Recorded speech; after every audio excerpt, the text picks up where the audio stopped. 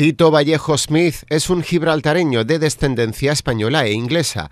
Como investigador ha abordado diferentes facetas de la historia de Gibraltar, exceptuando las cuestiones políticas. La espeleología, la prehistoria y los temas militares son sus campos preferidos. Su trabajo trata de alejarse de otras líneas de investigación de autores foráneos, imprimiendo el sello de su origen y crianza gibraltareña.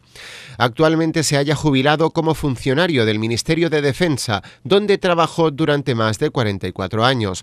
Es miembro de la Reserva del Real Regimiento de Gibraltar y de la Real Sociedad Geográfica, así como del Grupo de Estudio de Fortalezas de Gran Bretaña. Asimismo, fue fideicomisario del Gibraltar Heritage Trust, patrimonio de la historia de Gibraltar, durante 10 años. El diccionario llanito ha sido una nueva apuesta del Servicio de Publicaciones de la Delegación Municipal de Cultura, que cuenta con el patrocinio de CEPSA Cultural 2014. En este caso también se cuenta con la de la Asociación Fotográfica Sanroqueña.